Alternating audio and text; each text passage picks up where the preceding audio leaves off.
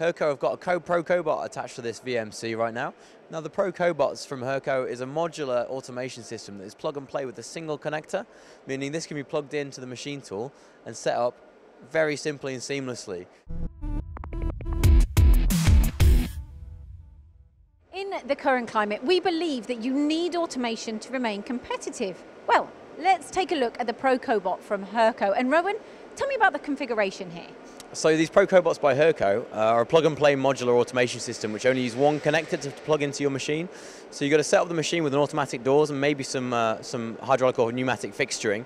And then your Pro Cobot can plug in with a single, a single cable and then your WinMax control can make sure that your robot, robotic control, uh, your robotic control is integrated into the machine control. This makes it a really simple, simple system to set up.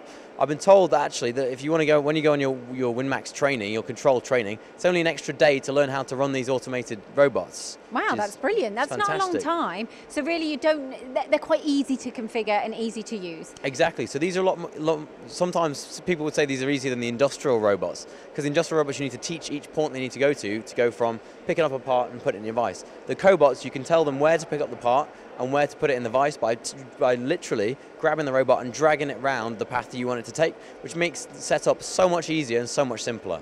And does this move? Because there's wheels on this. Exactly. So we have the trolley here, which you can take in, load up the parts and put back in again, which will locate in your little pins down here. We also have the, the greater assembly here with the robot on it, can be unplugged from the machine with that single connector, rolled down to your machine shop to maybe another a lathe that has another auto door system, plug that in, and then you can be running off different parts the same day, wow. all automated. But it's just keeping those spindles turning. And I know I spoke to Dave Waghorn earlier, who mentioned that there's some exciting time for turning centres here at Hurco. They're launching some new machines.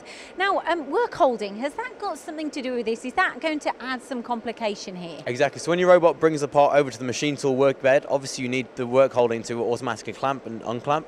So you can have hydraulic or pneumatic fixturing. Now for aluminium parts like these, I think pneumatic fixturing would be acceptable because they offer slightly less clamping force than hydraulic. And we have two hydraulic, two pneumatic vices here, just for, with teeth on, just for clamping these uh, these aluminium vices.